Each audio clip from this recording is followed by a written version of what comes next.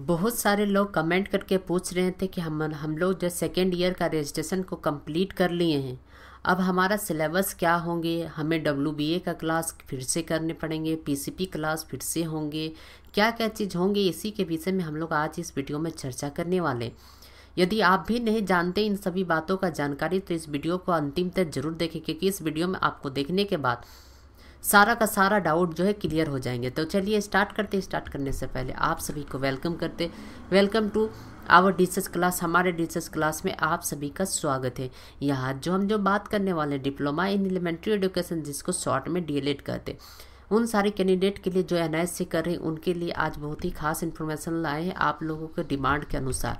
क्योंकि बहुत सारे लोगों को जो सेकेंड ईयर का के बारे में जो है नहीं पता है इसीलिए पीसीपी का क्लास तो बहुत सारे लोगों को मन में जो है क्वेश्चन उठ रहे थे तो क्या फिर से हमें पीसीपी का क्लास करना होगा? क्या हमें पीटी का क्लास करना होगा? क्या हमें डब्ल्यूबीए का क्लास करना होगा? अगर क्लास करना है तो कब से स्टार्टेड होगा व्हेन स्टार्टेड द क्लास कब से स्टार्ट होगा क्लास तो इसी के विषय में आज हम आपको बताने वाले हैं। तो सबसे पहले वन बाय वन करके एक बार समझते हैं कि पीटी क्या होता है पीसीपी क्या होता है और आपका डब्ल्यूबीए का क्लास क्या होते हैं। तो चलिए इन्हीं बातों को लेकर हम लोग इसमें वीडियो में बताते हैं। पूरा का वीडियो ज़रूर देखिएगा वीडियो पसंद लगे तो लाइक ज़रूर कर दीजिएगा। आप यहाँ पर देख रहे हैं, अगर हम लोग सिर्फ़ पहले अगर पीसीपी के क्लास के बारे में अगर हम लोग हम लोग चर्चा करने तो यहाँ पर देख पा रहे अध्ययन केंद्र पर व्यक्तिगत व्यक्तिगत संपर्क कार्यक्रम पीसीपी तो यहाँ पर जो है पीसीपी क्लास को लेकर यहाँ पर जो है बहुत जल्द आपको हमारी वेबसाइट के माध्यम से आपके अध्ययन केंद्र के बारे में जानकारी प्राप्त होगी। अध्ययन केंद्र में आपको व्यक्तिगत संपर्क यानी पीसीपी में हिस्सा लेना होगा। एक विशेषज्ञ विशेषज्ञ व्यक्ति पीसीपी कक्षाओं का आयोजन करेंगे। पंद्रह दिनों की पीसीपी कक्षाओं में हिस्सा लेना अनिवार्य पीसीपी कक्षाएँ रविवार एवं अवकाश के दिनों में होंगी। तो यहाँ पर आपने देखे कि आपको जो है पंद्रह दिवसीय क्लास जिस प्रकार से आपने जो है फ़र्स्ट ईयर में आपने पंद्रह दिवसीय के क्लास को किए थे, उसी प्रकार से सेकेंड ईयर में अभी आपको पीसीपी का क्लास आपको करने होंगे। यहाँ पर साफ़ साफ़ लिखे हुए मुक्त एवं दूरस्थ शिक्षा प्रणाली में व्यक्तिगत संपर्क कार्यक्रम पीसीपी का विशेष उद्देश्य एक दूरस्थ शिक्षार्थी के रूप में आपकी सहायता करना है।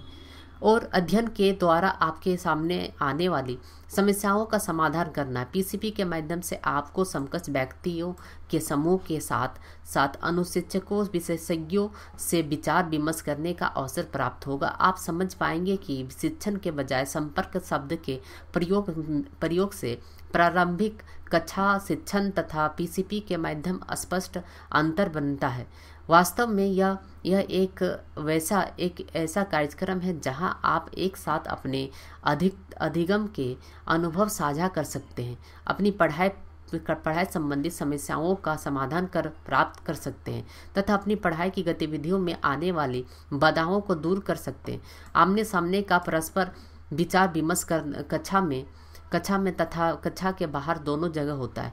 यद्यपि यद्यपि पीसीपी के लिए कोई कोई विशेष अंक नहीं दिए गए हैं, परंतु इसे बहुत महत्व दिया गया है। इन सत्रों में उपस्थित आवश्यक आपको कम से कम पचहत्तर परसेंट का क्लास आपको करना अनिवार्य है। तो आपने यहाँ पर पूरा का पूरा चीज़ देखे कि होना जो है अनिवार्य है। बिना इसमें जो है, बिना पीसीपी के क्लास का साफ़ साफ़ जो आपको बता दिए गई कि आपको परीक्षा में बैठने की अनुमति नहीं दी जाएगी। इसके साथ साथ अगर हम हम देखते हैं, इसके साथ साथ तो अगला जो क्लास है, आपका डब्ल्यू का क्लास। जैसे कि डब्ल्यू का क्लास आपको जो है बारह दिवसीय क्लास होते हैं, जो कि फ़र्स्ट ईयर में भी बारह दिवसीय होते हैं और सेकेंड ईयर में भी।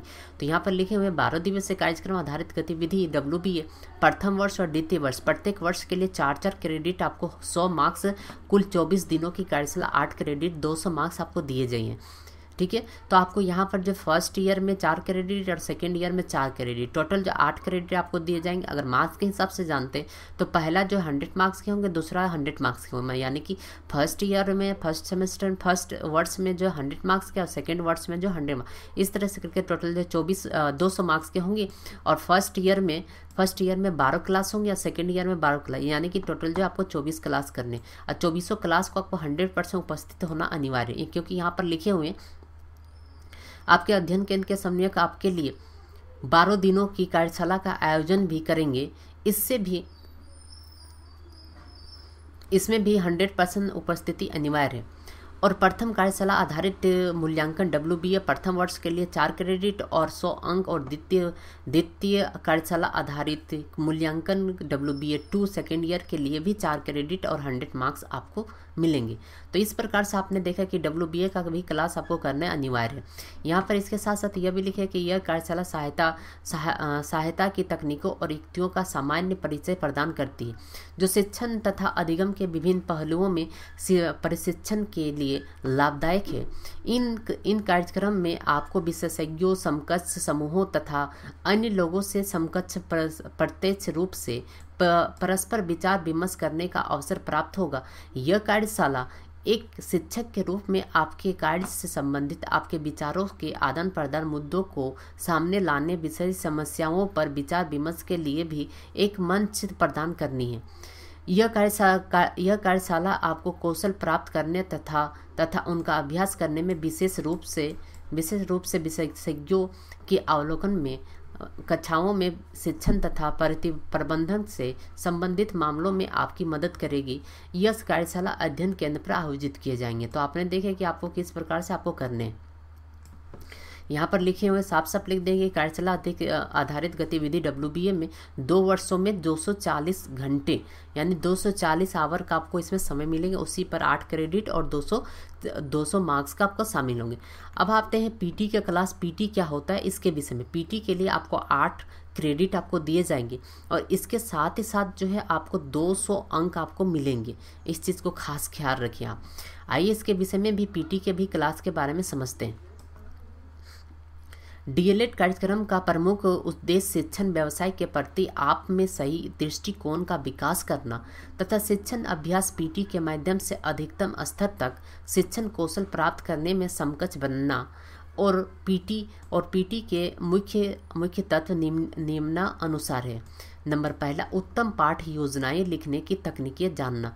यानी कि आप किस प्रकार से अच्छे से अच्छे तरीका से आप पाठ योजना आप लिख सकते हैं, तथा योजनाओं के साथ प्रभावपूर्ण ढंग से पढ़ा पाठ पढ़ाने का कौशल सीखना। मतलब किस प्रकार से आप बच्चों को पढ़ाइएगा, ताकि कितनों भी अगर ख़राब से ख़राब अगर चैप्टर है, कितनों से बोरिंग से बोरिंग चैप्टर है तो बच्चों को इस तरह से आप पढ़ाइए कि बच्चों जो है बहुत ही अच्छा से इंटरेस्टेड लेने लगे। इसके साथ साथ यह भी लिखे कि वास्तव में शिक्षण अधिगम प्रक्रिया के अत्यंत महत्वपूर्ण तत्व माने गए और इन दोनों में प्रवीण होकर इनकी इनकी भली भांति प्रयोग करने से निश्चित रूप से आप एक सफल शिक्षक बन पाएँगे। शिक्षक, शिक्षण अभ्यास को शिक्षण व्यवसाय की आधारशिला के रूप में माना जाता है, क्योंकि यह आप आप जैसे शिक्षक परीक्षार्थियों को शिक्षण कौशल प्राप्त करने, उनमें सुधार करने तथा इनमें प्रवीणता प्रवीणता प्राप्त करने के अवसर अवसर प्रदान करता है। टोटल जो 40 अभ्यास पाठ आपको तैयार करनी है। यहाँ पर साफ़ साफ़ जो लिख दिए हैं 40 अभ्यास पाठ, यानी 40 अभ्यास पाठ आपको इसमें रेडी करने इसके बाद देखें कि यह गतिविधि आपके कार्य कार्यस्थल स्कूल में की जाएगी जहाँ आप पढ़ा रहे हैं। इसके लिए आठ क्रेडिट और 240 अंक के, के घंटे रखे गए हैं। प्राचार्य जो कि आपके मार्गदर्शन होंगे वे सुपरवाइजर की सहायता से मूल्यांकन कराएँगे। प्राचार्य मार्गदर्शन आपके अंक अध्ययन केंद्र के समन्वयक को भेजेंगे और इसके बाद विधिवता, जाँच और सत्यापन के बाद समन्वयक आपको, आपके अंक को हमारी वेबसाइट पर अपलोड करेंगे। तो यहाँ पर आपने देखे कि आपका जो है पीटी का क्लास आपके ही स्कूल में होने वाले, क्योंकि यहाँ पर लिखे हुए ये स्टडी सेंटर पर आपका नहीं होंगे, बल्कि जहाँ पर जिस स्कूल में आप पढ़ाते हैं, उसी स्कूल में होंगे और आपका जो वहाँ का प्रिंसिपल होंगे वह प्रिंसिपल आप सभी का, टीचर्स का मार्क्स को मार्क्स को अपलोड मार्क्स को जानेंगे और वह जो प्रिंसिपल जो है वहाँ पर, यानी कि जो प्रिंसिपल, जिस स्कूल का प्रिंसिपल, वहाँ जो भी स्टडी सेंटर होगा, जिसमें आप सभी का नामांकन है एडमिशन लिए हैं, जिस स्टडी सेंटर पर, वहाँ पर ले जाके सबमिट करेंगे।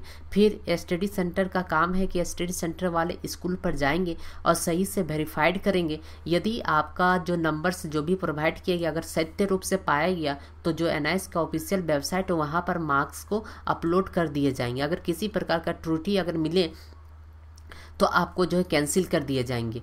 तो यहाँ पर आप सभी देख लें कि आपको किस प्रकार से कैसे करके जो है आपको डब्ल्यू का क्लास पीटी का क्लास किस प्रकार से करने।